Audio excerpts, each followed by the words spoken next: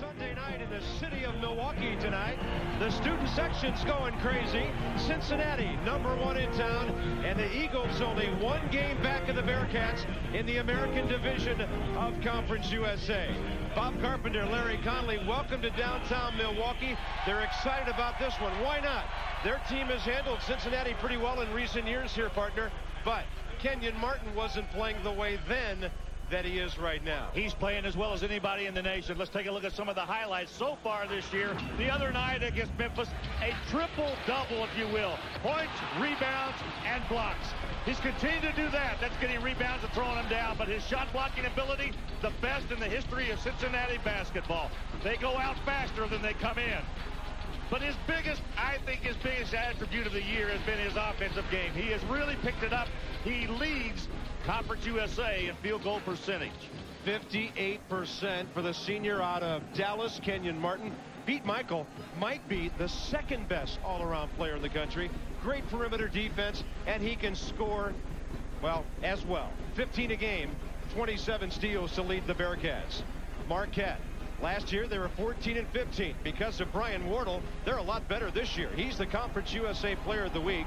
He'll go over a thousand points in a couple of weeks, and he's coming off 30 against North, 31 against North Carolina Charlotte.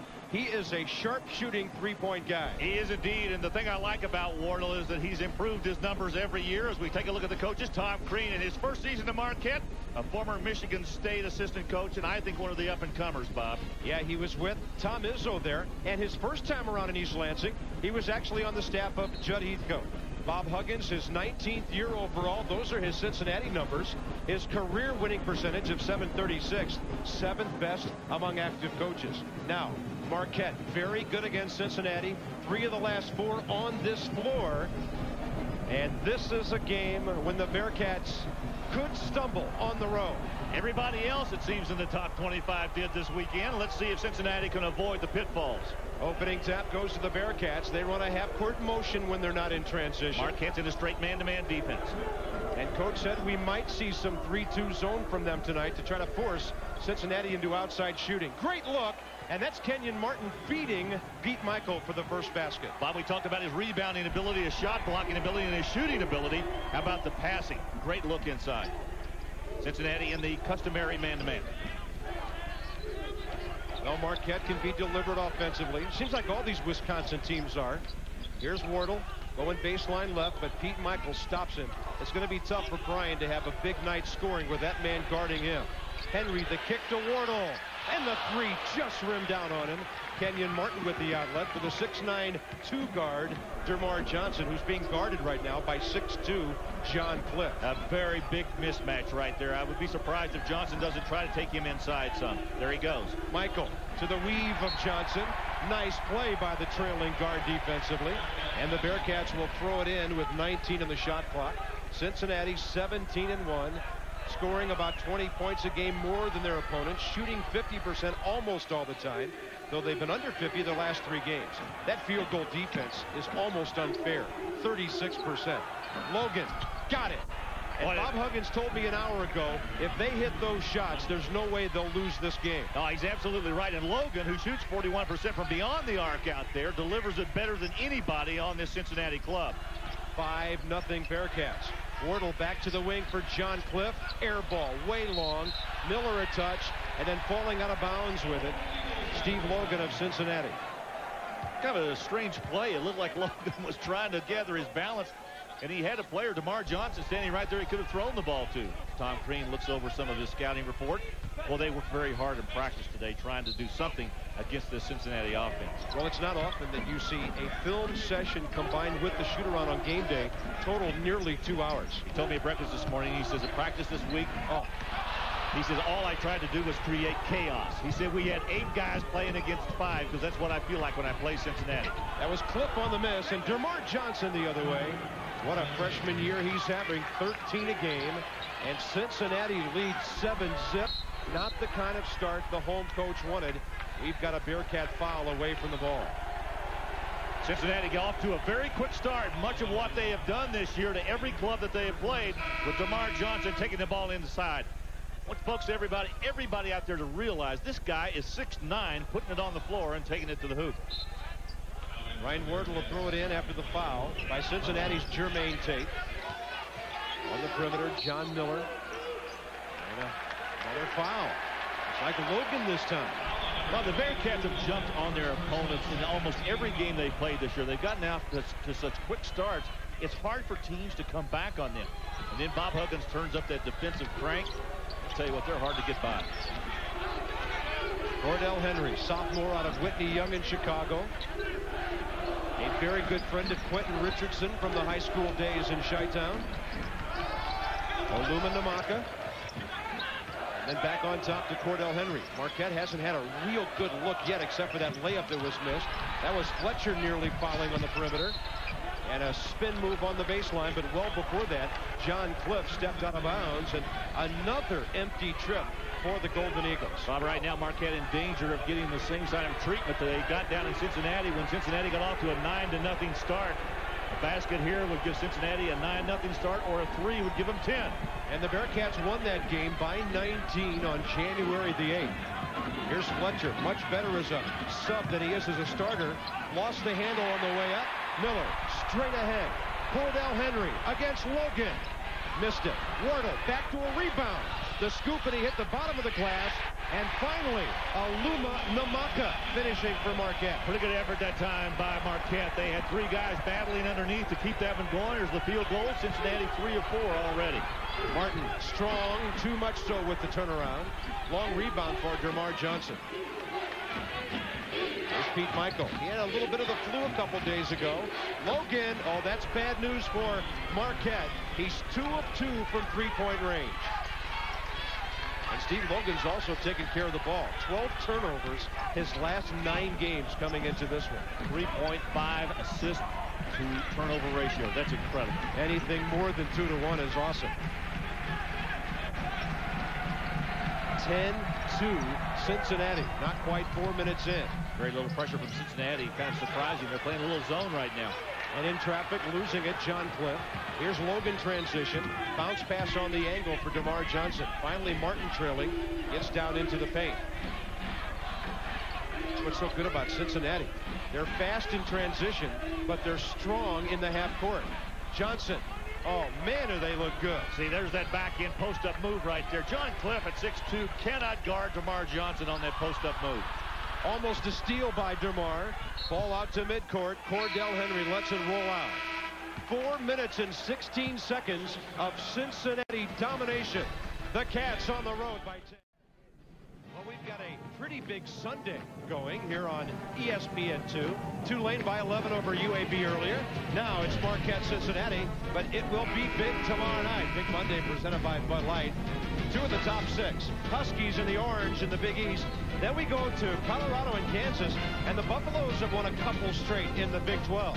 After Sports Center, Colorado State and Utah in the Mountain West. And Larry Conley, how about the point guard matchup in the Big East tomorrow night? One of the better ones, and I want to tell you that Jason Hart is playing so much better this year for Syracuse. It's given Jim Boeheim a totally different look with his basketball team. I think one of the reasons they're undefeated at this point, Elamina simply picked up where he left off last year.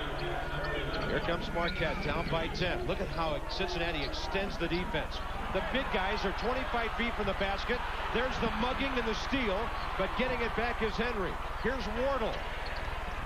They need him to start hitting some. I tell you, Cincinnati just attacks the basketball. Something Marquette worked on today is trying to keep those people from swarming the ball. And I'm talking about the Cincinnati defense. They just attack the basketball. And they don't really worry about the guy who picks and rolls. They just go where the ball is. Exactly. Here's Wardle. Turnover right into the hands of Kenyon Martin. Here's Mickeal. Well, that's a shooter's touch. He just line drived it up there, and it still went in. Pete Mickeal has four. So does Johnson. Logan has six. Martin hasn't scored, but so what if you're Bob Huggins? Well, Bob, I think that gets back to the reason why they're number one right now. They have such great balance, great size, depth. They have good quick guards, and they can really defend. Couple of Marquette turnovers, four Cincinnati points. Wardle misses again, and there's Logan at six foot down there rebounding. Over the ball game, Kenny Satterfield, number 11, just dishing off there. And a Cincinnati turnover gives it back to Marquette. Tom Crean will check in Brian Barone. Cincinnati How about that the last two games? Only four turnovers per game, forcing 19 a game. Those two contests. Yeah, but that guy right there, Pete Mickeal, maybe as good a defender as there is in the nation. We talk so much about Kenyon Martin and all the other players. I think it was an exaggeration for you to say that he might be the second best player in the nation. He could very well be. You know, if he was with a different club, he'd probably be averaging 25 a game. Yep. Brian Barone, that name sounds familiar. Yeah, he's out of College Station, Texas. He is Tony's son, running the point now for Marquette. He's going to try to blow by center field. Too tall on the bank.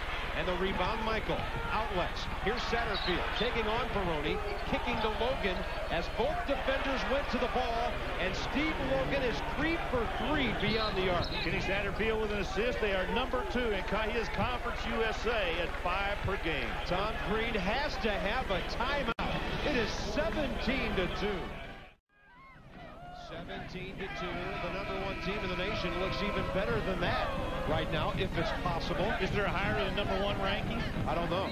Marquette's one of nine from the field. Logan has three threes, and Cincinnati is hitting on all cylinders on a Sunday night in Milwaukee. Bob, here's that defense I was talking about. Look at Cincinnati swarm the ball. Wardle can't even get rid of it. They're fortunate to get it back after the ball is slapped away right there. But once again, he tries to work his way inside. No, thank you. Cincinnati's going to allow not allow anything down inside. It's a, such a strong defensive club. And they did that great half-court defense without fouling or even coming close to it. Well, consider they, they have 36% field goal percentage defense, and that ranks number eight in the nation, and they're the seventh best shooting team in the nation. It's almost not fair when they're going like this. Pete Mickeal has practiced the other day. He's been sick to his stomach for a couple of days. May not be able to play 30 or 35 minutes tonight. Into the ball game, John Harris, one of the good rebounders for Marquette. What Marquette needs right now is some offense. Somebody's, somebody's got to start getting hot here. Barone, they've, they've got nothing on the perimeter. Cincinnati extending the defense all over the place. Here's Nnamaka for Barone, one of the shot clock. And Kenyon Martin's got the rebound, and he took a bump on the way down. Looks like Brian Wardle with his first. Bob, this has been total domination by the Bearcats in this first seven minutes of play. I mean, Wardle just can't even get free. We're trying to isolate on him and show just how tough it is for him to try to get around. Look at that defense out there by Pete Mickeal. Bob Huggins says, I can take Mickeal and Tate, let those two guys guard the five and not worry about anybody else. he might be right on the defensive end for Marquette for number 34, John Harris, their outstanding rebounder out of Edwardsville, Illinois. Martin too strong on the bank. Rebound, Oluoma Nnamaka, and here comes Barone trying to run some point for Marquette. Well, they're taking away all their confidence. They've got to have something positive happen here. Mickeal just kind of bellying up on the drive of John Cliff, and Pete Mickeal will get his first, and for Cincinnati, their third team foul. Bob, a subtle little point about Bob Huggins' defense. In the past, one of the things he's always been very tough with in double teaming the basketball and swarming to the ball is their hand usage. And I'm talking about the defenders out there. They use their bodies now. They body up on guys and don't use their hands as much to reach or try to grab for the ball. And you know what that means, Larry? They're playing defense with their feet. Absolutely. Their feet are moving all the time. Harris. And don't think Kenyon Martin didn't adjust that shot. Jermaine Tate the rebound. Here comes Kenny Satterfield for UC. The dump down. Martin drawing triple coverage. Satterfield thought about the three. Taking it from the left side. A little bit long it is from DerMarr Johnson. Kenyon Martin in traffic, twisting and missing. Johnson a chance. Over the baseline, and it stays with the Bearcats. They will check Steve Logan back into the game. Pete Mickeal will get a breather. So they'll get a little bit smaller here on the perimeter with Logan and Satterfield in the game, six foot, six two, respectively. Yeah, but number two and number three in Conference USA in assists. How about that for two guards in the league, second and third? Well, the numbers don't lie. There's Tate from Martin. Jermaine Tate putting it on the floor and moving beautifully. Tate very quick to the basket. Cincinnati team is so, so good. Well, they, they can beat you outside. They've shown that early. That time they go inside. Barone the bounce pass to Harris. Look at the denial. Look at the denial. So hard to catch a pass. Even if it's not deflected, it, it sometimes is so hard to make the pass. It forces the offense. Look how far out Marquette's running their offense. From the left side, they can't get that one down as John Cliff misses it. On a pass from David Diggs. Satterfield the kick for Logan. Tate looking left. Looking to Martin, who directs the ball. He told him, pass it over to DerMarr, and I'll post up. Shot clock running down to 15. The Bradley Center very quiet. The Cats have taken the Oysters pregame crowd out of this game. Satterfield, the long miss on the three. Good block out by Marquette that time. Everybody found a man. Tom Crean worked a lot on that in practice yesterday and today. That was uh, Lumanamaka out of Sweden with the rebound. Cincinnati has Steve Logan's three makes from beyond the arc. And Wardle and company unable to hit for the home team. You know, Bob, when you get this kind of pressure, it's very difficult to dribble against somebody who's always in your lap. You've got to keep your dribble alive, though. Once you pick that ball up, Cincinnati is so tough allowing you to make that next pass. Shot clock at seven. Shot clock at four. To the rack. Underneath. Shot clock violation. As Marquette couldn't get it off. And Cincinnati now leads by 17. Tom Crean's Eagles in trouble early. Well, the frozen tundra of Green Bay is certainly the same case here in Not far away. Not far away, Larry, along Lake Michigan here. It is icy cold in Milwaukee tonight. Beautiful facility, the Bradley Center. Seats 19,150. It's more like the Bradley Library right now, a little bit quiet. Hey, how about ESPN Full Court Pay-Per-View? 450 plus college basketball games. All the top teams, all the top leagues. Call your cable operator, DirecTV, or the Dish Network. It's not too late to get ESPN Full Court and get ready for March Madness. Jerry Krause probably has it, scouting all those young players for the Bulls. I would love to sit in on the first deal that Krause and Jordan do. Oh, brother. I don't think either team's in much of a position of power to negotiate. Not right now. Yeah, you're right. There's Ma Mickeal. Pete Mickeal back in the game. Nice pass. Look at the one-touch passing. The finish by Jermaine Well, Tate. Marquette went to his zone that time, and immediately the recognition by Cincinnati. Get the ball to the middle and make the pass. And Marquette's going to get a, an offensive foul. Fletcher made a terrific touch pass. John Harris knocking down Ryan Fletcher. Look at Harris. Go to the corner. Good trap in there by Marquette, but not quick enough as Fletcher gets it and just drops an easy one down inside. Let's say that's great ball movement with Tate finishing it off. Larry, that possession looked like a walkthrough on game day. Look at Cincinnati shooting 60%. Marquette is 1 of 12. Three more attempts, eight more makes on their home court. You know, most of those shots are coming right at the end of the shot clock, too. There's a travel. Nice. Johnson a little slow putting it on the floor. Curtis Shaw got it. Veteran crew, Steve Wilmer, Jim Burr, and Curtis Shaw tonight. Cincinnati better on the road than they are at the Shoemaker Center. You know, they shot 50%. 10 of their first 15 games this year, including seven straight. But they've gone under 50 their last three games in a row. Doesn't look like that'll be the case tonight. Yeah, but they've gotten a lot of easy shots on the inside. And uh, combine that with the fact that Steve Logan's been able to make those threes. Yeah, the reason they've got that big lead. Wardle. Boy, they are all over him. Evidently, they got the press release in Cincinnati that he's the conference player of the week. Great Good pass look. again. Fletcher from Johnson, and then the follow, and that's a half dozen for Jermaine Tate. Any scoring he gives them is a real bonus. How about this? Everybody has scored just about except for Kenyon Martin, who's That- getting a that breather is a right now. surprise. He is on the bench getting a blow right now. There's the double team. Henry scoots away from it. Stripped by Logan. Shot clock at 15. I mean, the Bearcats have claws on defense tonight. Wardle short with another three. They are just not giving Marquette any good looks at the basket at all. Put it on the floor, somebody's coming after you. Pick up your dribble, and nobody can get to a pass. Fletcher on the perimeter. Kenyon Martin walks to the table. And the Marquette student section says, oh boy, we really did well with him out of the game, didn't we? Here's Fletcher back to the basket. Polanowski on his hip. Ryan short with it. Aggressive attempted rebound, and Tate's got it, and he can't roll it in. Look at Jermaine Tate on the floor. Marquette up with it. And a foul in the backcourt. It'll be number two on Steve Logan. The crowd goes crazy. Well, the crowd at this point Well, you know what? to go crazy over I think something. Logan may have a legitimate beef right here. Look at Kenyon Martin laughing. The ball's rolling around on the floor. Polanowski comes up with it. Now watch this. He throws an elbow. It looks like he catches Logan right on the uh, chin.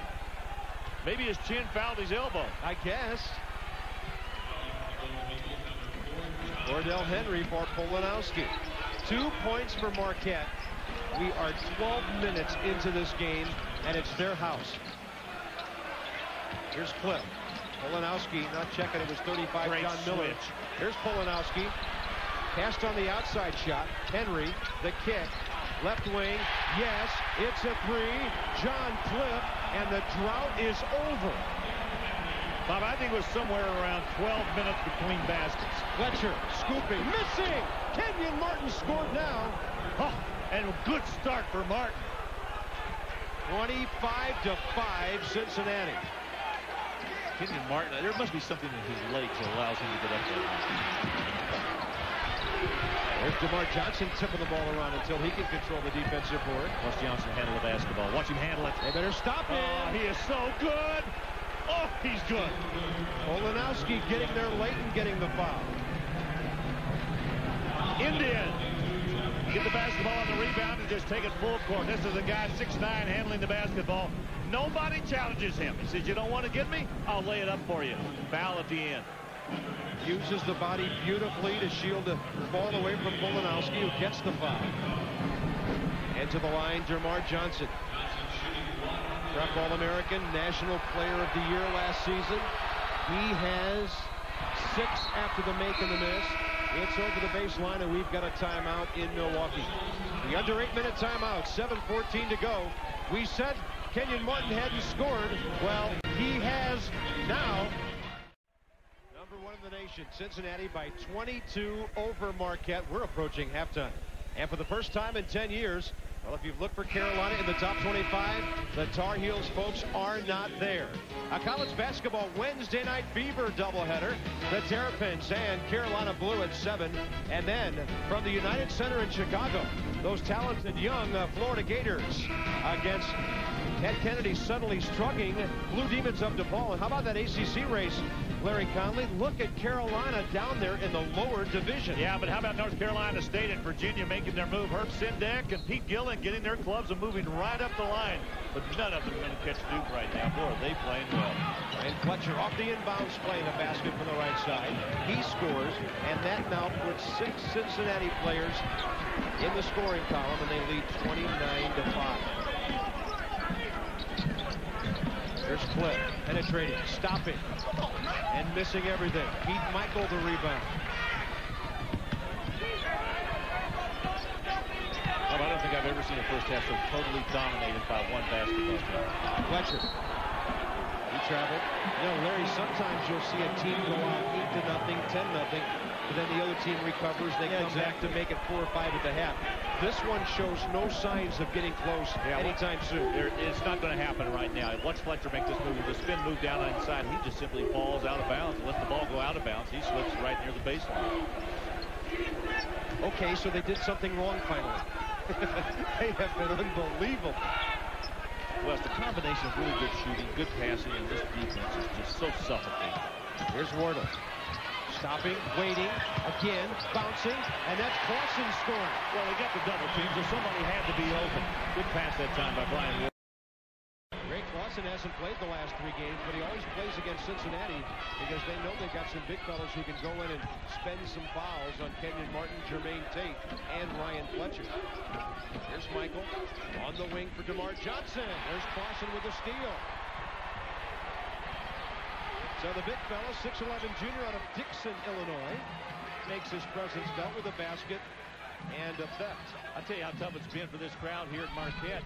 On a steal, they got almost a standing ovation. Here's Cliff. A little hacking out there on the perimeter. And a reach-in foul by Kenny Satterfield. That'll be his first. Brian Wardle leads Marquette in scoring with 17 points per game, but something else he does very well is pass the basketball. Good jump stop right there, ball fake inside, another ball fake, and a good drop down pass inside. Going to do more of that as Greg, Greg Clausen finished it off. Got to find some open people.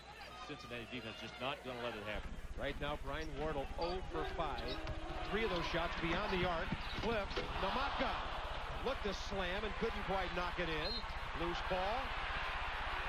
John Cliff had it. A Curtis Shaw whistle. And good hustle that time. I'll tell you, Tom Crean's not going to have Marquette standing around. Another one on Kenny Satterfield. Yeah, nice move here by John Cliff inside. He was just uh, a little intimidated by the fact that Cincinnati blocked so many shots, and they are battling on the left side right in front of the Cincinnati bench. Watch how tough it is to get around those screens for Cincinnati. Once the screen is set, they really battle. Clausen tried to set one right there. I think he's going to pick up the foul. That he is. A little extension by his arms on the man flashing by. There are a couple of options you've got on a, on a screen. You either can go behind it or you fight through it. Cincinnati's awfully good at getting through those screens. See, it makes it tough on the screener, too, because he's got to protect himself a little bit when that guy's going through. Jermaine Tate back into the game for Cincinnati. They also check in Leonard Stokes, a 6'6 freshman out of Buffalo, who was an All-American last year. And he was Mr. Basketball in the state of New York over Kenny Satterfield out of the Bronx, Brother Rice High School. So they've got a young backcourt out there right now, but two very, very talented young men. There's Martin with a high pick. Good deflection as John Cliff gets in the passing lane. Satterfield gave that one away a little bit. He telegraphed it. The reason it was knocked out of bounds. But again, Cincinnati makes it so tough on both ends of the floor. Watch this maneuvering on the inside. Here comes the screen, and it's a good one It's one of the things that they do well. I've watched Cincinnati practice several times, and they do set great screens. Martin got Clausen off the floor. There's Jermaine Tate. He has been tough tonight. That's eight points for the 6'9 senior out of Toledo. Cincinnati club averages 39 rebounds a game. They're going to be over that number tonight. And the rebounding margin, about a half dozen per game. Here's Cliff. Nice stop move. Now just nothing has fallen from the get-go here for Marquette. Satterfield's speed makes this a two-on-one, and he finger rolls it home. Henry kind of backed off a little bit to allow Satterfield to go to the basket. I would have challenged the basketball and made him make the pass at least. I don't think I've ever seen a game, Larry, at this level where the score was 33 to 7. That's what I'm saying. Unbelievable. I, I'm trying to rack my memory here to think of a game where one team dominated the other so dramatically, and I can't come up with one. This has been incredible. Nice runner by Brian Wardle, his first basket. He was old for his first five. I remember the Globetrotters had a couple games like this. Crossing a touch.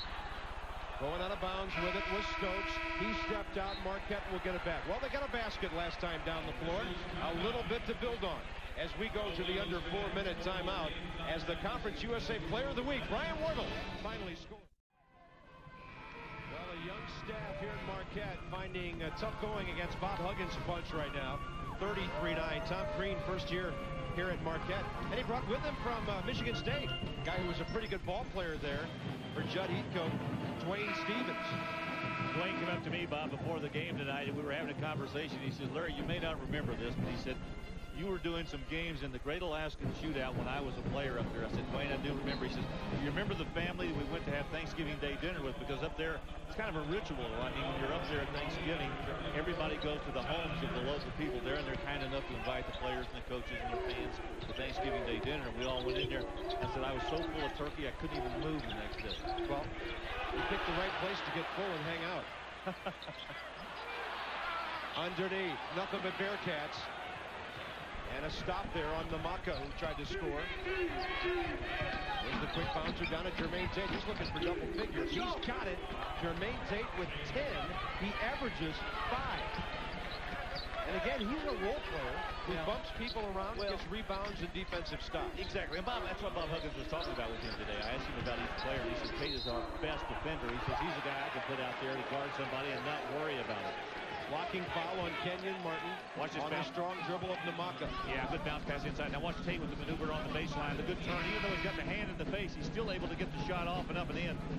You know, this guy's really had a really troubled career. I mean, after he transferred from Ohio State, he had one year where he had to sit out, and of course he's had both knees operated on.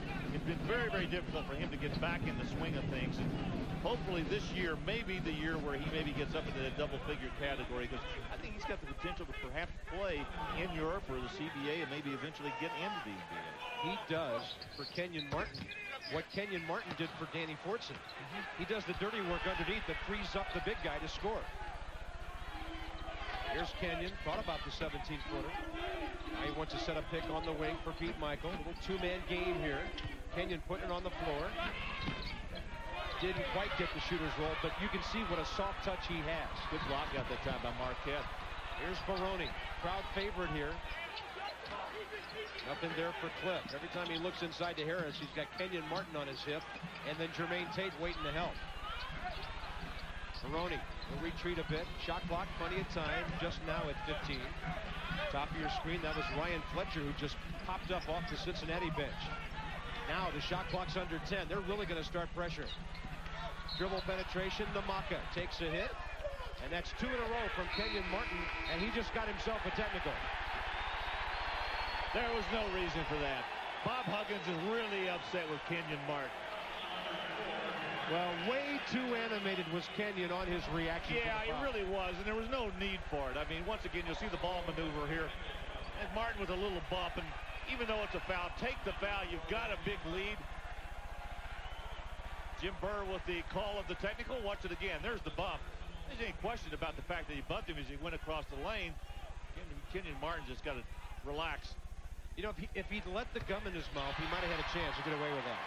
Well, maybe he wanted to get rid of it. Nnamaka will shoot. These are the free throws for the foul. So he gets the front end of the one and one. Now their best free throw shooter, Brian Wardle, will step in and shoot the technicals. Bob, Bob Huggins in his own professorial way there explained to him why he didn't want him to have that technical. Brian Wardle. Yeah, that's one of those situations where you really have to control your emotions because Kenyon Martin wants to play. He wants to be out there on the floor. Now he picks up the technical, which counts as a personal against him. And he's too good a player to allow something like that to really dominate his feelings. Just let it go. Go on and play.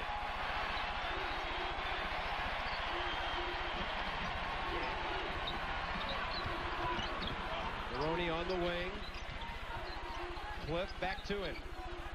Wardle top of your screen. The objective of the Marquette offense is to get shooters in position. Cincinnati has not allowed them to do that, and there's another turnover. Well, again, the pressure by Cincinnati. Yeah, you'd love it. You'd love for Tom Crean to look up and say, geez, we got something going here. Right now, he has nothing going. But Marquette's gone to his own.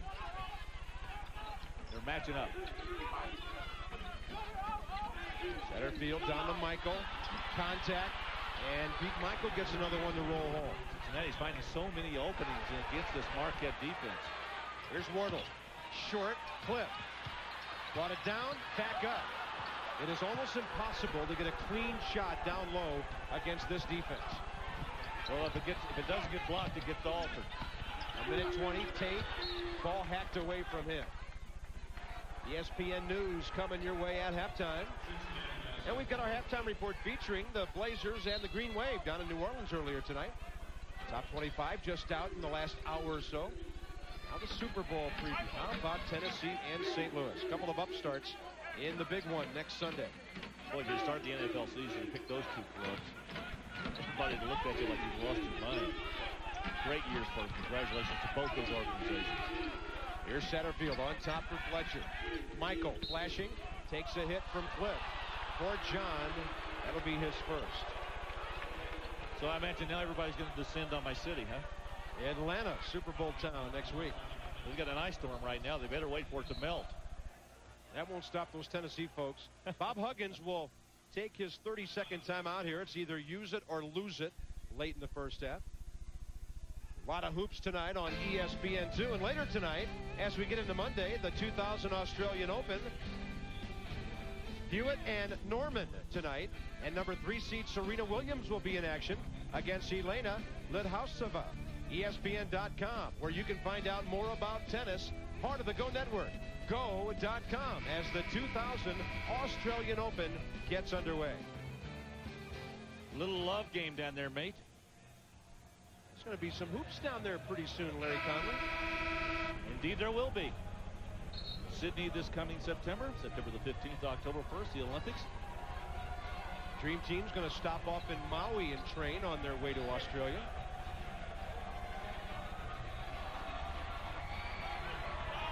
Well, the kids came out in full force tonight, but Cincinnati has shut them up. On top to DerMarr Johnson. Final minute first half. 30 on the shot clock, so the Cats have plenty of time here to run something. Satterfield, dribble penetration, quick release over the hand of Fletcher, and Satterfield knocks it out. And the Eagles will have it now with 45 seconds to go.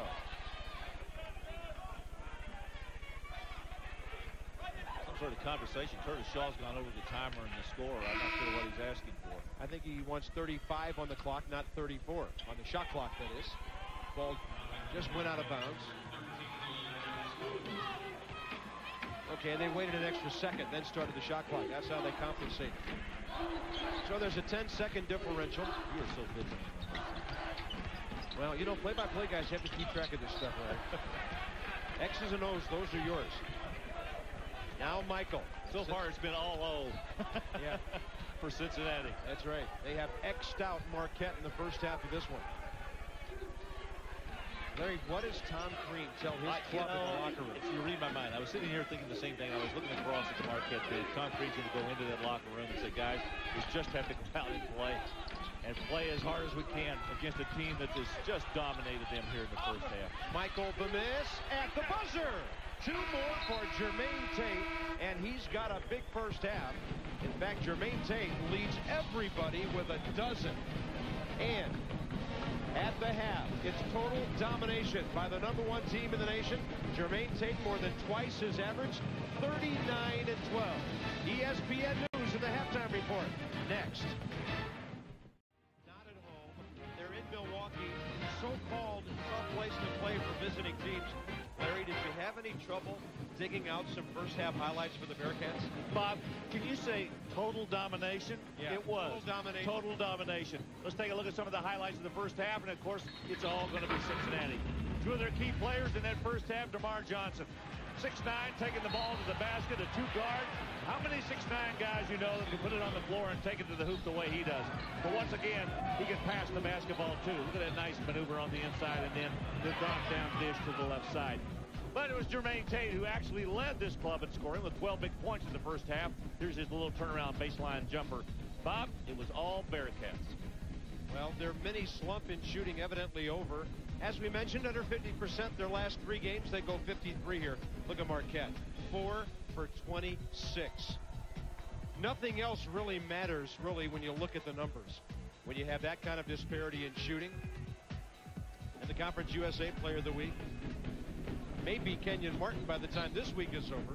Brian Wardle, the current reigning champion, and he's one of eight so far. And because that, because he's got the jacket on, Bob may be planning to sit him down for a while after that technical foul, which was his third personal near the end of the first half. Cincinnati's opened up in a man-to-man. -man. Marquette looking it over. Not as much pressure right now from Cincinnati. Wardle flashes to the near side. Squares up for the three. He needed that.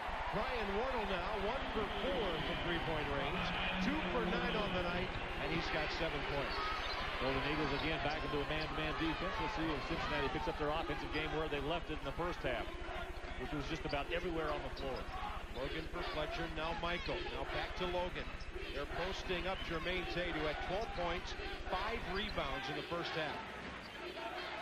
Good ball movement by Cincinnati. There's DerMarr Johnson. Or Fletcher. He'll turn and face. Hands in front of him from Gotta go up. Oluoma Nnamaka. There's the jumper. Got it away in time.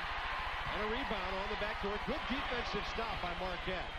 The board by John Cliff, who gets it back from Cordell Henry. Didn't look like Cincinnati was running much of an offense in that half-court game they had that time. Maybe I'm looking at perfection from the first half. Yeah, we're spoiled, aren't we? Yeah. Conference USA. Cincinnati 6 and 0 if they win this one. So they're a game ahead of 4 and 1 Marquette. Brian Wardle warming things up. He's got 10. It's 39-18 as Marquette goes 6 zip to open the second half. Well, I'm not saying there's any kind of run being made, serious run right now at Cincinnati, but they're not playing the second half the way they did the first half. Here's DerMarr Johnson leaning in, almost got a charge. Loose ball, Fletcher misses. There's a push-off. It was either Wardle or Cordell Henry. Has to be Henry. Just pushing Jermaine Tate to the floor. about the only way Henry will get a rebound over Tate, is to make sure he's on the floor. Bearcats get it back with a fresh 35. A minute 50 out of halftime.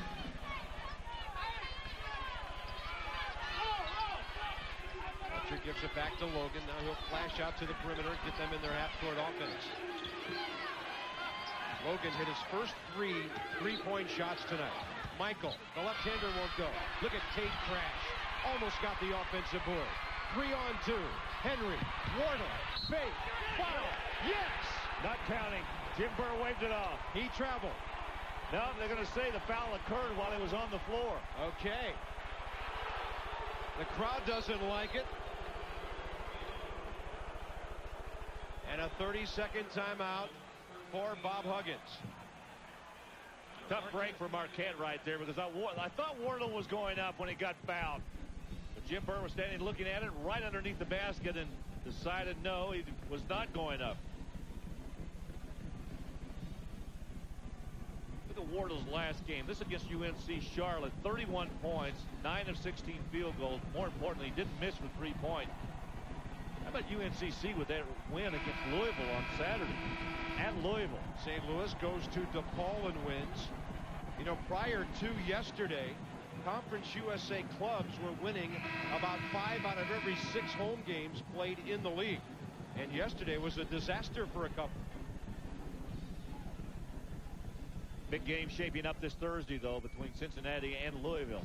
You and I will have a chance to look at that one. Freedom Hall on a Thursday night. Ooh, that's big. 9 o'clock Eastern on ESPN. Nnamaka swings it up high to Cordell Henry. Wardle can't quite hit his third in a row. Rebound underneath. Wardle on a pass by John Miller. And then the ball bumped out of bounds by the Bearcats. Well, Bob, one of it was Tom Crean said to his club at halftime, they've come out and been an entirely different basketball team than what we saw in the first 20 minutes. They've shot the ball well, they've defended well, and they're actually getting on the glass with Cincinnati, who out-rebounded them badly in that first half, 27 to 13. Logan watching Henry. There's the flash for Nnamaka. Stopped by Fletcher. Now, the now they extend. Yeah, the, the, the defense is picking up now. Well, you can see it happen. And they know when they're getting down low on the shot clock as well. Here's Wardle. Rejected Tate. Back up. Nnamaka. And pulled down by Fletcher. Good stop by the Bearcats. Here's DerMarr Johnson. Out of control. Got it back. Draws the foul. And the freshman a little lucky there as he didn't have a real good idea of what he was doing on the break. Didn't have a whole lot of room to operate on that baseline when he went down that left side. Logan gives the ball up, and Johnson's trying to maneuver around the inside. He tried to get around Mueller there, but got the ball back and drew the foul. Bob, are we going to get to the day in college basketball, probably in the not too distant future, where we're going to see six nine two guards as commonplace? No. but this guy is unusual, isn't he? Well, you think about it 40 years ago, I mean, uh, you didn't find very many 6'2", 6'3 guards. I mean, just 40 or 50 years ago. I mean, here we've got one in college, and this guy's going to be a tremendous player. Well, time will tell how long he sticks around. Already some talk in Cincinnati about him going pro because of the good defense by Steve Logan. That's a five-second call. Well, I would hope not. I hope he sticks around because he's going to be fun to watch. Watch the foul again. It was a nice maneuver right there, trying to put the ball between his legs in the turn.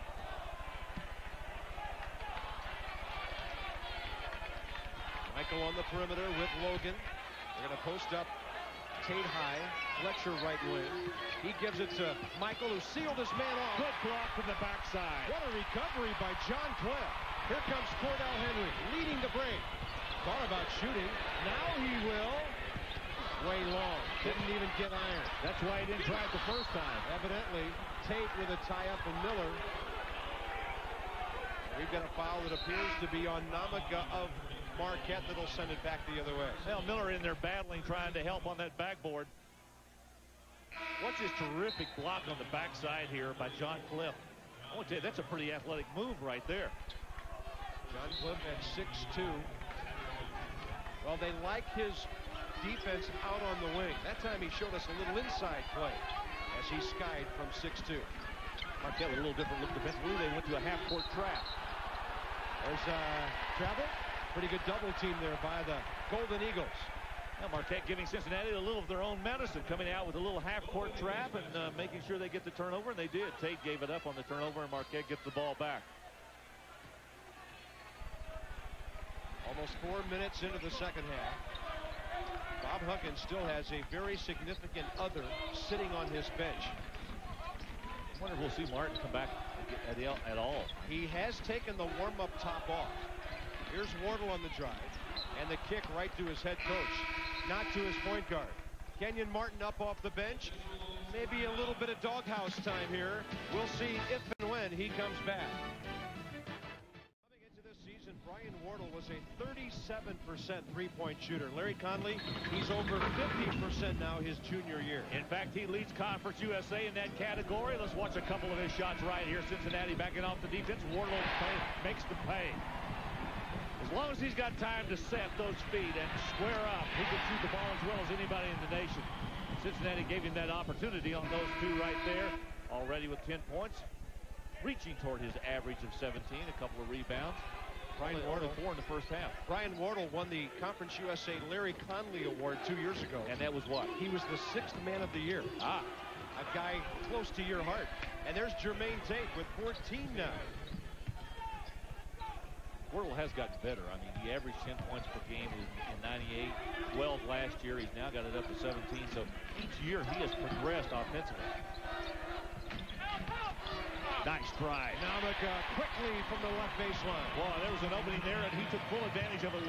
Right along the baseline, there was no help from Cincinnati. A rare defensive lapse. Nifty pass from Mickeal down to Tate. Stumbling out of bounds. He throws it away. Here they come. Four on three.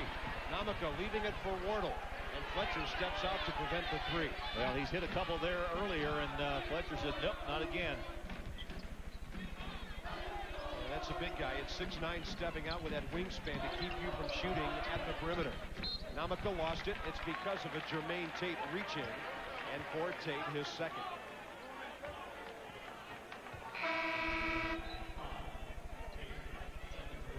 Well, the week ahead for both clubs. On Wednesday, Marquette goes to St. Louis. Suddenly the Billikens making some noise with that win at DePaul. I think Lorenzo Romar is going to be a very nice addition to the city of St. Louis right now. He's got the Billikens going. And then Thursday, Larry mentioned it.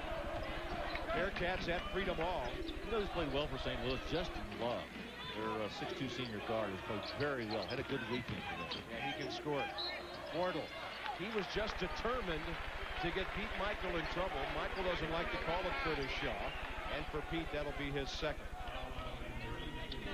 Bob, I'm really pleased with Perry Clark is playing as well as he is right now with uh, Tulane. They're they're playing extremely well. Nice move across the lane right there, and you see the foul. Wardle a little bit more aggressive on offense in this second half than he was in that first half. Technical foul. We've got another one. Pete Mickeal. And just like Kenyon Martin, his third foul will be a T. That's two T's on Cincinnati. And that's really not like Pete. He normally is one of the cats who keeps himself under control at all times. Wardle knocks it down. That'll be 11 for him. Well, whatever it was, the magic words set off Curtis Shaw because he rung him up quickly. Wardle might hit four in a row here. Now those are the two free throws from the foul. Now he'll shoot the tees.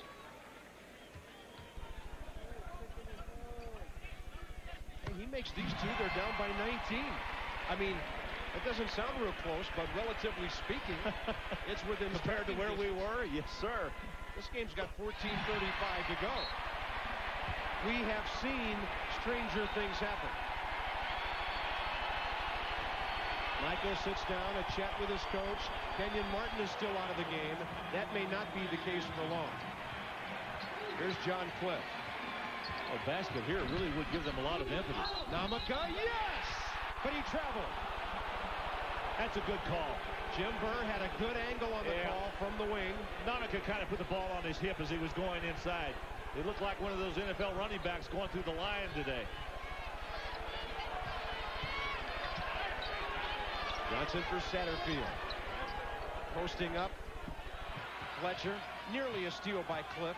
Look at Logan flash right through the double team. Johnson back to him. Now the swing for Satterfield.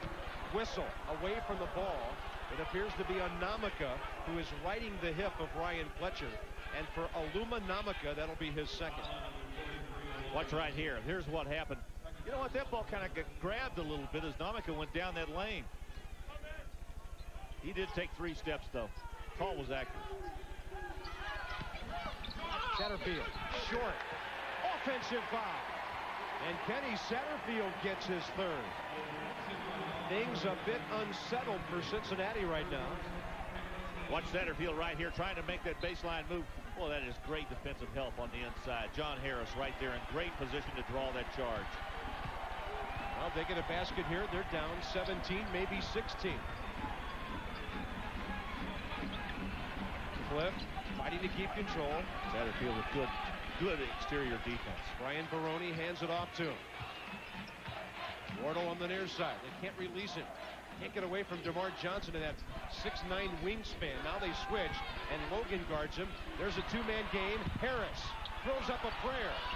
Bumped away by DerMarr Johnson. He's looking ahead. He's got DerMarr. Traffic. Barone. And a foul on Marquette in transition. Well, now that we know who's in the Super Bowl, ESPN and ESPN2 will give you live daily press conferences from the site of Super Bowl 34 in Atlanta. It starts tomorrow, runs through Super Bowl Sunday. Catch Sunday NFL Countdown on ESPN 11 a.m. Eastern next Sunday. We will be all over the Titans and the Rams getting ready for the Super Bowl. Who do you like? Oh, you know where I'm from, Larry. I know. There's the oh, and a foul. What a terrific move inside. Nnamaka with a chance for three. He didn't get the last one going down the lane, but that one was all his. He should claim ownership to that particular move. That was a great one. He took the blow and still got it to go down. Barone with a good pass. Nnamaka with a finish. Boy, did he take a blow. Fletcher committing the foul. Kenyon Martin back in the game. Failing in the three-point play. There's Cliff. Can they get two more? Wardle will take it out on top. For three! Here they come! Wardle with 16. We've got a 14-point game. A steal! Here comes Wardle again. He waits, dribbles, turns, and it's taken away from him. Here's Logan. Anybody going to catch him? No. But Barone tried. He got there as quickly as he could, but Logan very smart with the basketball, didn't give it up.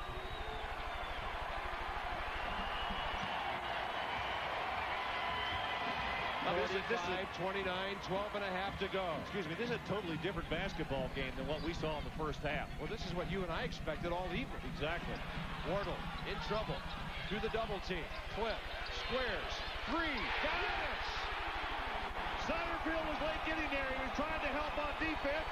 Got him wide open. They're Back not left. chipping away. They're bombing away. 45-32. And DerMarr Johnson misses. Ahead. Harris. Barone.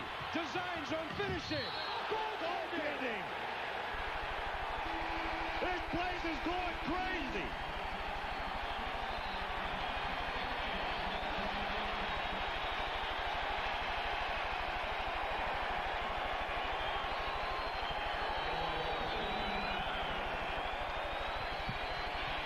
Cincinnati timeout with the 11.57.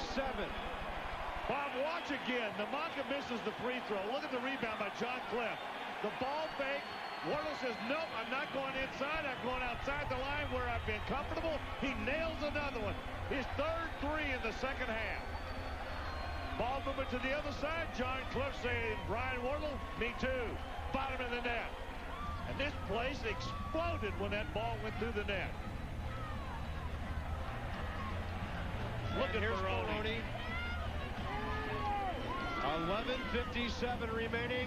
The Golden Eagles have flown right back into this one. In a four-minute span from the under 16-minute timeout to the under 12-minute timeout, Marquette outscores Cincinnati 16 to 4. And uh, the free throw shooting, or excuse me, field goal shooting a little bit better. I would say 7 of 13 in the second half for Marquette. Over 50%. Boy, have they really picked up the pace.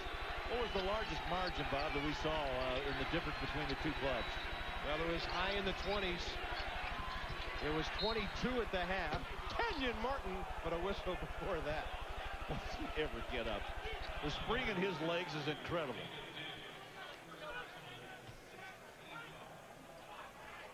Watch down underneath Cincinnati maneuvering with the basketball on the outside. The good lob pass down inside. DerMarr Johnson trying to get it and Martin trying to finish, but the foul went the other side and DerMarr Johnson with a couple of charity stripes. To look at. David Diggs on the foul. Johnson swishes it. DerMarr with nine on the night. The biggest lead was the halftime lead, 39-12. And then you folks might remember Wardle came out and hit two threes, and they've been on the comeback trail ever since. So the smoke clears here, and it's a 12-point game with 11 and a half plus. I hope Tom Crean taped that message that he delivered to his club at halftime. That's something he'll be able to use his, for his whole life. Nnamaka against Tate. Barone and Satterfield and a travel down in the corner. Now the coaches told me Brian Barone kind of like his dad but the fire burns a little bit quieter they say than it does inside Tony. Solid basketball man Tony Barone. Absolutely. Fun days at Bradley and then Texas A&M. Here's Satterfield with Barone watching him on the perimeter. Alley-oop! Kenyon oh. Martin, what Did you see that catch? Catching it with the right hand, gathering himself while his body's floating in the air, bringing both ends together and jamming it. That's what only, a great catch. Only his second basket of the night. Here's Cliff blowing by Johnson. Dumping it off. Barone digs. Well, look how quickly Cincinnati closes out on the shooters. You're right. They just don't give you the opportunity to look at the basket. A ball reversal like that, Larry, should give you a shot. And they it did. They helped so well on defense and then recover. Barone leaning. Missed the iron with it. On the floor, tape. Ball finds its way to Kenny Satterfield. Bouncer. Mickeal. Yes. And that may spell an end to the Marquette run. Cincinnati gathering itself out of the timeout now. Satterfield with another great pass. Now Marquette wants to stop it with a 30, 10.09 remaining. Bob, take a look at this maneuver by Kenyon Martin in the air. Now he goes down inside. We've got him ISO'd right here. Look at this. They forget about him. Look at that catch with the right hand and then getting himself underneath the basket. You can't coach that. That is nothing but athletic ability. What a great catch. Well, this is a club 17 and 1. Their only loss to Xavier. And they have been perfect other than that. How about UConn and Syracuse? Maybe the perfect the perfect point guard matchups on Big Monday presented by Bud Light. Then we go to the Big 12 for the Buffs at Lawrence and the Jayhawks 11th after Missouri hammered them on Saturday. You know they'll be hungry. Colorado State, the Rams, and the running Utes of Rick Majerus. And they go up to number 19 this week in the top 25 just announced a couple of hours ago. You're telling me there's a terrific player at Colorado State out there that no one has heard of. Cedric Goodwin.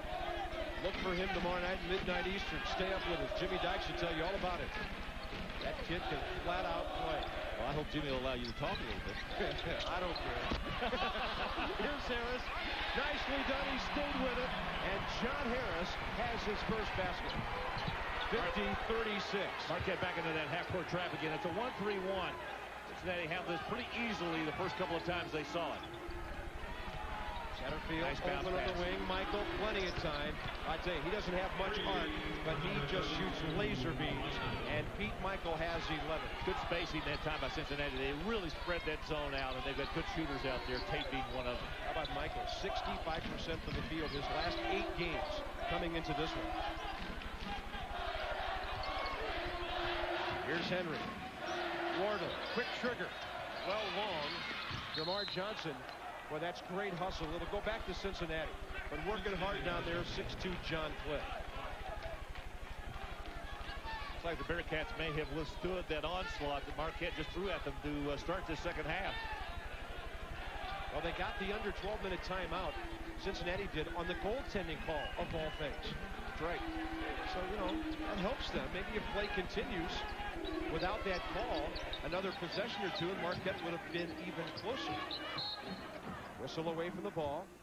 And it looks like it's on John Harris of Marquette. That would be his fourth, and that would hurt their presence around the iron.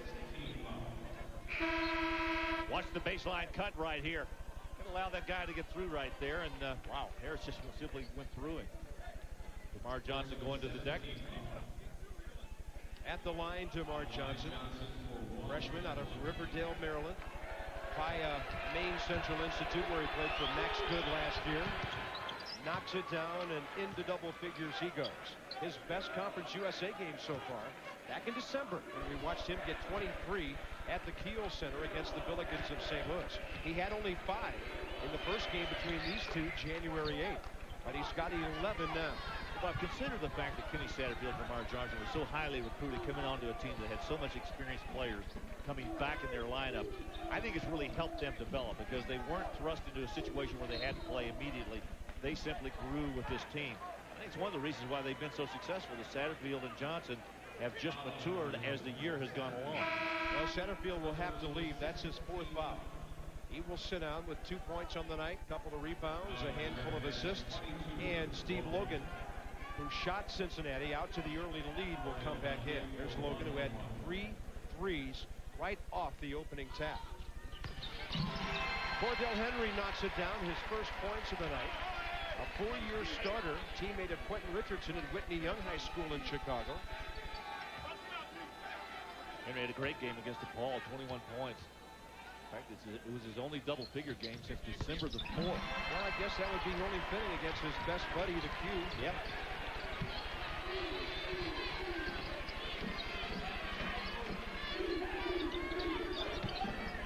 Man-to-man defense by Marquette. They've gone away from that half-court trap that they were using. Good spin move. Mickeal, left-hander, kept alive. But Kenyon Martin couldn't roll it home. Are the Eagles about to make another run? Wardle. Oh! oh! Goaltending as Kenyon Martin rejects it into the fifth row. I don't think I've ever seen a shot rejected that far. Unbelievable. I mean, it's goaltending, but my goodness, look how far this goes. I'd just like to play volleyball against him. Ooh, what a great volleyball player he would be on the net, huh? I'd be cowering in fear. 55-40 Cincinnati. Martin receives it, and he was fouled from behind. John Harris.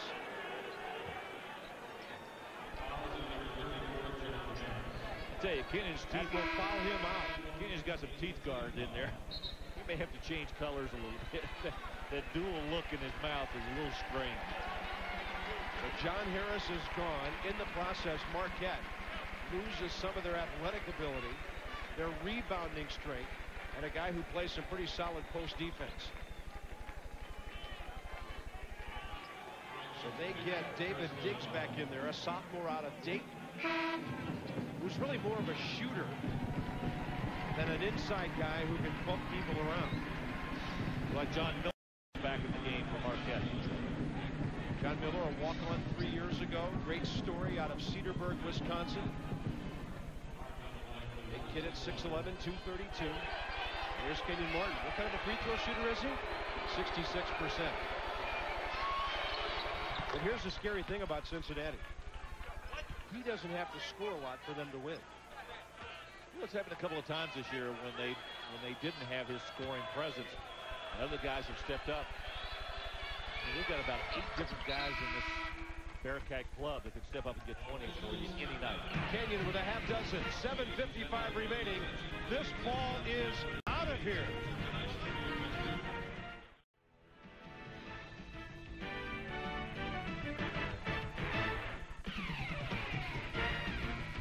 Marquette is winning the second half, but they lost the first half by such a wide margin. and they make the comeback. We're in downtown Milwaukee at the Bradley Center, where this year the Eagles are 10 and 1. Their only loss at home to Dayton. Larry Conley, do they have enough left in the last eight minutes? I think it's going to be very, very tough because it looks like Cincinnati's reestablished themselves. Marquette rose up and uh, really made a charge at them, but tough to go after the Cincinnati club with all that depth. 16 points, the second half run advantage. There's Wardle, 20 for Brian. Coming off that 31-point game against North Carolina Charlotte. But when he's got time to square up, he really is a very, very good shooter. You just can't allow him to get squared up. Mr. Junior, he'll be back next year. One of Tom Crean's building blocks to the future. It's nice to hear that the junior's going to come back. Yeah. That refreshing? Martin for Johnson. Wardle stays with it. Kenyon surveying the situation. Logan to Tate. Everybody but Mickeal has touched it in this possession. And there's a foul by Nnamaka. That'll be his third. Yeah, Nnamaka uh, unable to stay with Tate in that post position down there that low.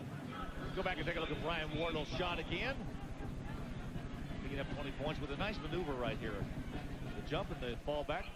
You know what that shows me is one thing is he can get open to get his own shot. He does not have to have a screen to get open. Jermaine Tate rolls it in. 15 for Jermaine. He had 14 in the midnight game a week and a half ago when we saw the Bearcats play Ohio.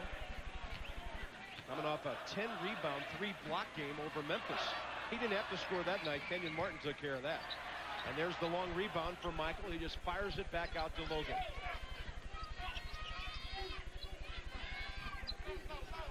Clock running down under seven minutes on this Cincinnati possession. They led 39 to 12 at the half. By the way, that tied a Conference USA all-time low point record for a first half. Martin, the turnaround.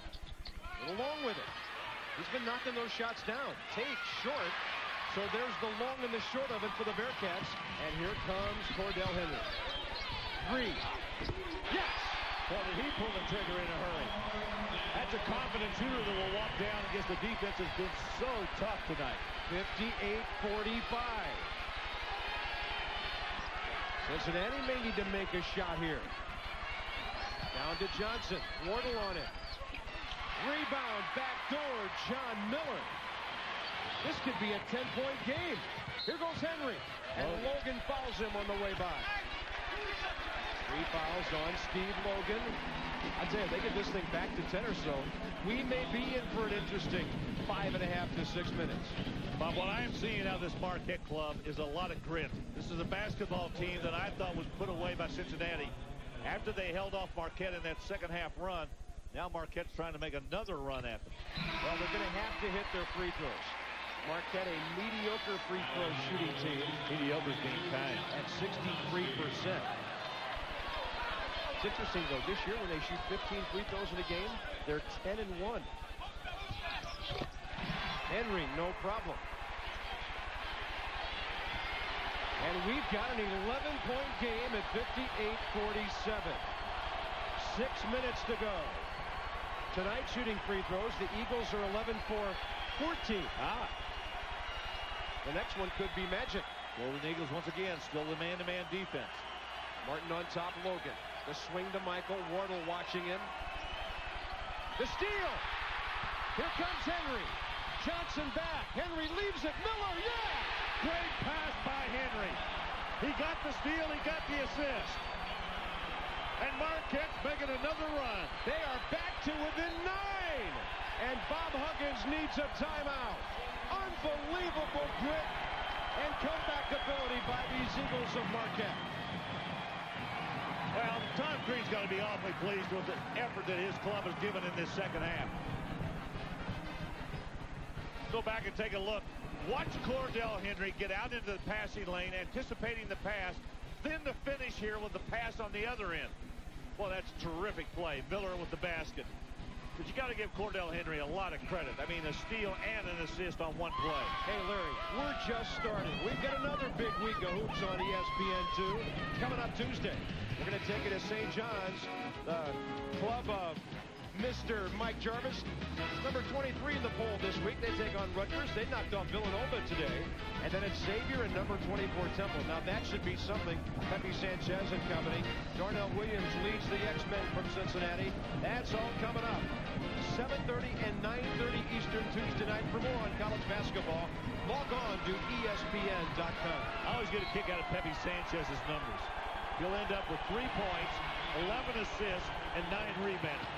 Yeah, with three or four steals. Yeah. Can Marquette get another stop? Look at Polanowski get on Martin. DerMarr Johnson back on the perimeter for Satterfield. Here's Mickeal. Cincinnati's getting very conservative now, a little tentative. Marquette just sitting in there. Martin, left-hander. Miller the rebound. Home, Johnson took it away from him. Fletcher missing. Miller again on the floor. He can't find a teammate. What great hustle. Cincinnati gets it back. Oh, that is great hustle. Both clubs. Right in the middle of it all, 5'9", Cordell Henry. Boy, they were giving up bodies on the floor everywhere. I'm talking about both teams. Martin with the miss right there. Watch the slap away from Miller right there by DerMarr Johnson. Fletcher was a little unsure of himself. Miller comes back with the ball, doesn't have possession, tries to make the pass, and Johnson gets in the way again. Now we've got a foul on Polanowski on a shot by Kenyon Martin, and John Polanowski gets his second. Go back and look at the end of that play. Here's DerMarr Johnson. Now watch him go to the other side. Look at the floor burns by John Cliff here. Johnson right on his back. Henry comes over. Polanowski, everybody's involved. I love that. I love that when guys go on the floor. Kenyon Martin, seventh point of the night. Or Marquette checking back in Oluoma Nnamaka, the former national teamer out of Sweden. Played in Newton, Kansas his high school ball before becoming a Golden Eagle of Marquette. And Kenyon Martin has eight on the night, six of those since halftime. 4.40 remaining. 60-49. It's a four-possession game. Henry blows by everybody. Nobody to dish it to, though. And I'll tell you one thing, you never see a guard shoot a layup against this club. Satterfield, the miss. Miller, look at this guy rebound. Miller's done a terrific job the last three or four minutes down on the defensive glass. Cincinnati getting no second shots. Double post high screen on the left. Henry uses it. He misses off to the left. Long rebound for Kenyon Martin. He can put it on the floor. He's got a trailer. Mickeal, beautifully done. Uh, that's a, that is great basketball between two of the better players in all of the country. Great pass by Kenyon Martin. Good follow-up there by Mickeal. Now it's back to 13 at 62-49. Wardle thought about the three. He got Martin and Mickeal to step out. And Kenyon Martin will get his fourth foul.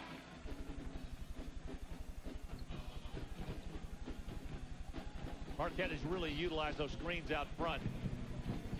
That time Wardle got to the other side and Kenyon Martin and Pete Mickeal were trying to get to him as quickly as they could. You saw Kenyon Martin walk through your screen there. Kenyon will sit down with four. I don't think he'll be out very long. And to give him a breather, Jermaine Tate checks back in. As we mentioned, the Eagles have to hit their free throws. They're now 12 out of 15. That's 21 on the night for Brian Wardle, who had a grand total of four at the half.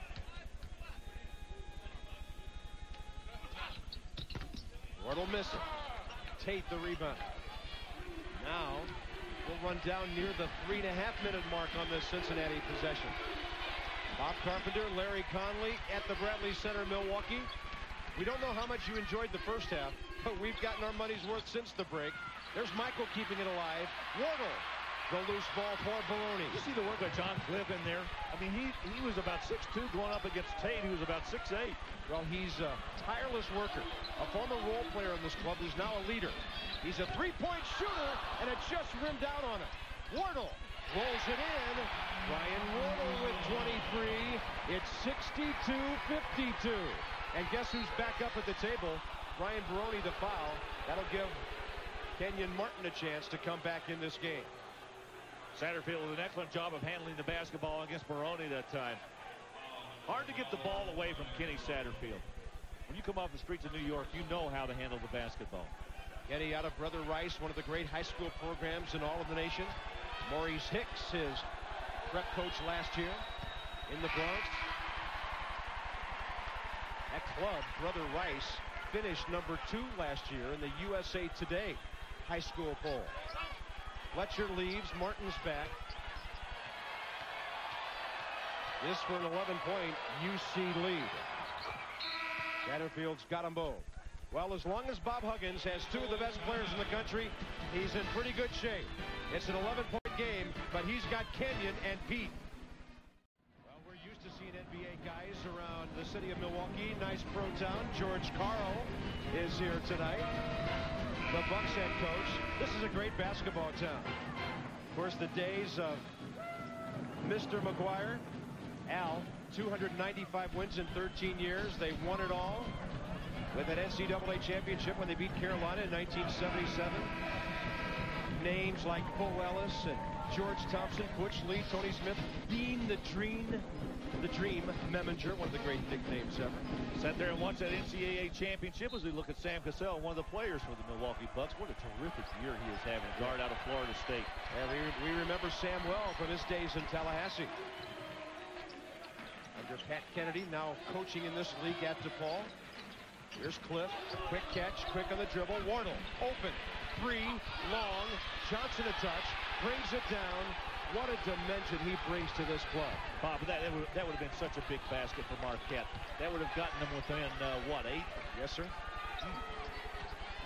That's how quickly the fortunes turn. 2.40 remaining. A tale of two halves in Milwaukee tonight. Elliot! Oh, Satterfield to Kenyon Martin. Great communication between two outstanding players. Just a lob pass up there, and Martin knew what to do with it when it got around the rim. It was almost as if they were reading each other's mind. Here's Wardle on the dribble drive. Martin stops him. Another turnover. DerMarr With 2.15 to go, that little sequence right there might have ended the evening for the Eagles.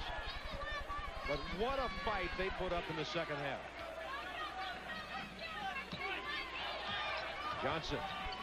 Wardle on him. They can run some clock now. They'll go under two minutes now on this possession, leading by 13. They led by 27 at the half. I thought at that point they were uh, an endangered species, these Golden Eagles. And a foul. DerMarr Johnson closing on him was John Cliff. Will be John's second. Go back and take a look at the nice pass by Kenny Satterfield. Once you put the ball between his legs, the little spin right here, come back, and there goes Kenyon Martin. Great lob pass. That's a, that's a set play. I mean, it's not like they just invented that play right then. I mean, they do that a lot in practice, but it has to be a communication between the guard and whoever's going to the basket. And, of course, those two guys do about as well as anybody. And you still have a freshman point guard who threw that pass without looking at the man he was aiming for. Great deception by Cincinnati and Satterfield, and a great finish, of course, by Kenyon Martin. A dozen for DerMarr Johnson. 145 remaining in a 14-point game. Cliff for three. Now they're misfiring now. Maybe those legs a little bit more tired than they were five or six minutes ago. Yeah, but two great efforts in this second half. I mean, they made two rushes at Cincinnati got themselves in a respectable position. Now Wardle goes long. Miller gets it on the wing. Cliff. He's long. Wardle backdoor. And for Brian Wardle, a 25-point evening. 965 now in his Marquette career. Well, what's going to happen now? Marquette's going to foul. Barone just picked up another foul going up against Kenny Satterfield. So Satterfield will walk to the stripe. We had a nice visit with Tom Crean's daughter today. Yeah, little Megan was at the game today. She came to practice with Dad. Yeah. And college hoops tonight coming up, just like it was before the ball game. A look at the new top 25 in college basketball. Karl Ravech and Jay Phillips. What was that illustrated thing I saw? That was pretty cool. Illustrated, huh? Those Duke guys are so smart. Uh-huh. Kenny Satterfield with four. Look at that nice, nice casual look, too, on Sunday nights, huh? Yes, Carl and Jay looking very nice in the studio tonight. And Kenny with five.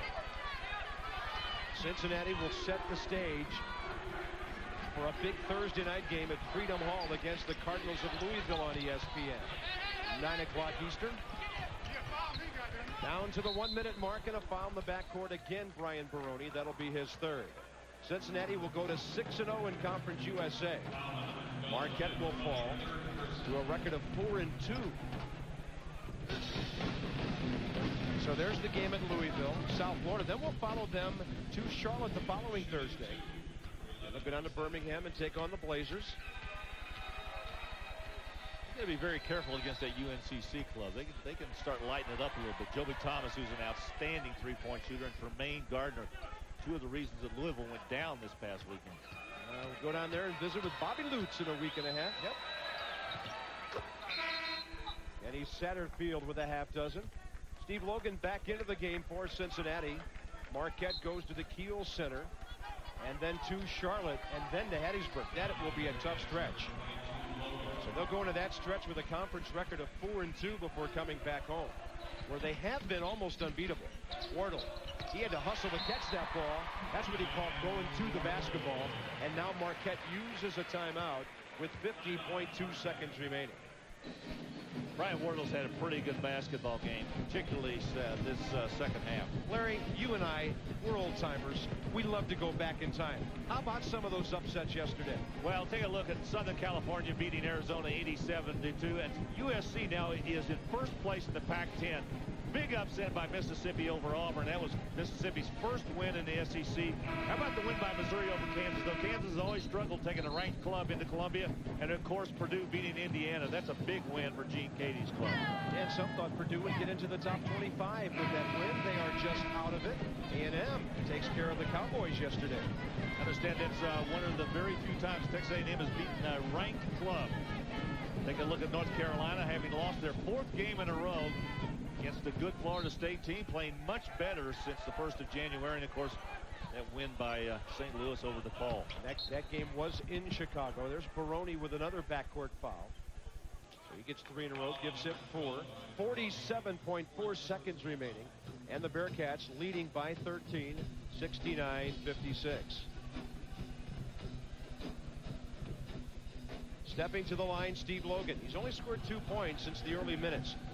This kid takes care of the ball, though, as we mentioned. 12 turnovers his last nine games coming in. His assist to turnover ratio, as Larry mentioned, three and a half to one. He's got 12 tonight. Jermaine Tate will come in.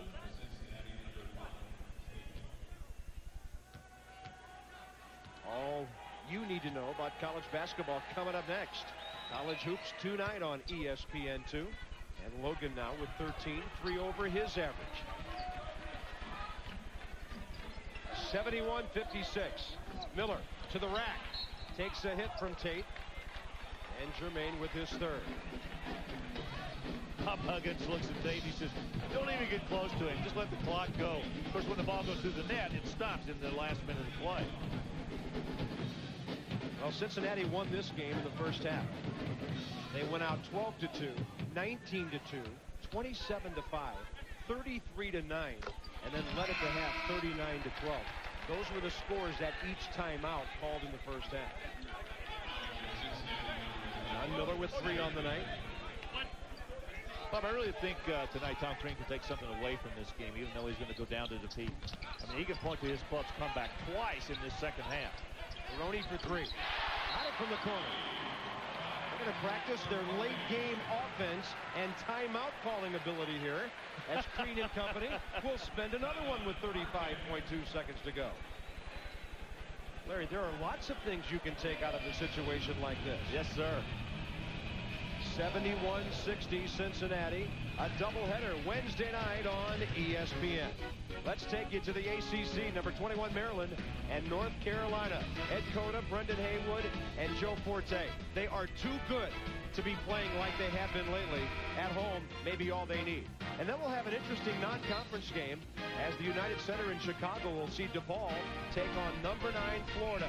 A guy that Larry Conley loves, Mike Miller, Teddy Dupay, and of course, Y2Q is what they call the DePaul attack in Chicago. That's an interesting matchup between Florida and DePaul. The fact that they're stepping out of conference play here in late January. And also, two classes, the sophomore classes of both of those two schools are terrific. You have a chance to tune in and watch that one because those are two excellent basketball teams. And I think DePaul might be on the verge of turning it back around. I mean, they've lost three of their last four games to unranked clubs. But this is a basketball team with an awful lot of talent, and I don't think Pat Kennedy's going to allow this to go on. John Cliff on the foul. Cincinnati at the line again. And again, it's Kenny Satterfield.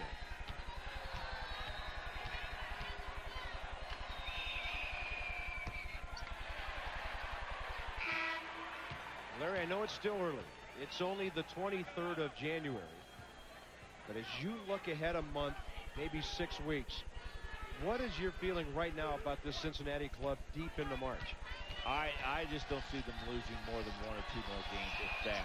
Uh, they're just so much better. You know, it's kind of rem reminiscent of Duke last year. You remember how Duke just ran rush shot through everybody? Ran the table in the ran ACC. The, absolutely, and uh, didn't lose a game throughout the entire ACC season last year, including the tournament. But it's that kind of situation. Duke, uh, Cincinnati reminds me a great deal of Duke last year. Well, that'll be a backcourt violation because the ball hit Brian Barone on its way back. And so with 21.9 seconds to go, the hard-fighting Eagles will go down to their sixth defeat of the year, but they'll still be in pretty good shape in the American Division of Conference USA. Their record will be 4 and 2, a game ahead of DePaul, Louisville, and Charlotte. St. Louis checks in at 2 and 3 after their win at the Horizon yesterday. But I think to further amplify that point about Cincinnati, I think there are a lot of clubs out there that have got a chance to get at them. I think Stanford's one of those clubs. I think Mike Montgomery's got a terrific club out there. And uh, I think Tom Izzo's Michigan State club, once they get everybody together and Cleaves has worked into them into the uh, into the way they want to play, I think they've got a shot. Bob Huggins shaking hands with Tom Crean, a 72-60 Cincinnati win. And the number one team in the land goes to 18 and 1. They are now 6 and 0 in the conference. And there sits Marquette, still in pretty good shape. And Larry Conley, again, Marquette takes some things out of this ball game as they make the big second half comeback.